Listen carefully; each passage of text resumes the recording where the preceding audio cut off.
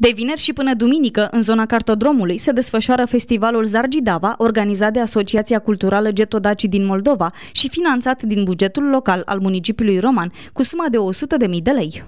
Este un eveniment cultural, educațional, un eveniment în care, cum am spus, oricine poate veni, lua parte la atelierele Meșteșugărești, vor fi tot felul de ateliere, olărit, fierărit, pelărie, țesut, foarte multe, acum nu vin în cap toate, vă dați seama, tir cu arcul, vom avea lupte de gladiatori, vor fi spectacole cu lupte de gladiatori, bătălii între daci și romani, vă spun doar așa că suntem vreo 200 de personaje, să spunem, care ne vom îmbrăca în daci și romani, renactori, cum ne spunem noi.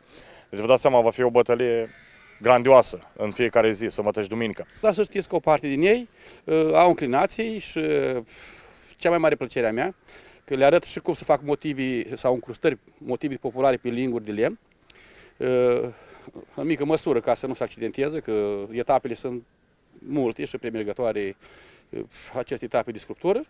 În schimb, au o satisfacție foarte mare când mă reîntâlnesc la al doilea festival.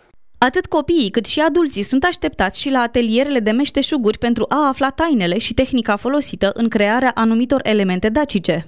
Cum am spus, anul acesta, acest festival este dedicat centenarului și am spus să acoperim o, o gamă mai mare nu, a istoriei noastre și am început cu antichitatea, începând cu regele Burebista, vom avea o bătălie al regelui Burebista, duminică vom avea pe cea lui Decebal, vom avea lupte din primul război mondial de aici, de la Oituz, între armata română și armata germană, vom avea bătălii de gladiatori, vom avea dansuri de ele și dansuri matroanelor de la Roma, deci va fi un spectacol, vor, practic vor fi două zile de spectacol în continuu, iar seara, după evenimentele noastre, cele de reconstituire istorică, vor fi concerte cu trupe de folk, trupe de populară, deci pentru toate gusturile.